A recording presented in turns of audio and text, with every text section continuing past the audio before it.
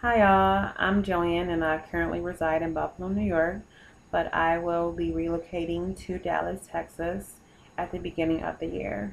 I am enrolled in the adult education program and I received my undergrad degree at the University of Buffalo in geography with thoughts of pursuing a career in urban planning, but that obviously changed.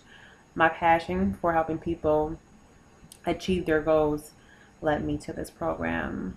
Uh, there are many teachers in my family, and I never thought I wanted to pursue education until I found out my natural role amongst my family and friends and even coworkers was one that tried to empower people and um, instill the confidence that they had the skills to achieve their goals and live out their dreams.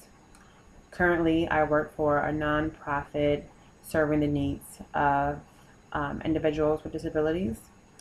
In my current position, I am responsible for developing HAT programs and then training the staff on the implementation of those programs and also tracking the progress.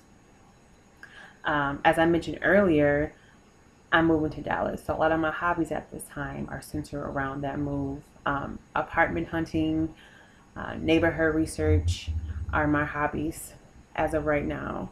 Um, but other than that, I also enjoy spending time with my dog Luca.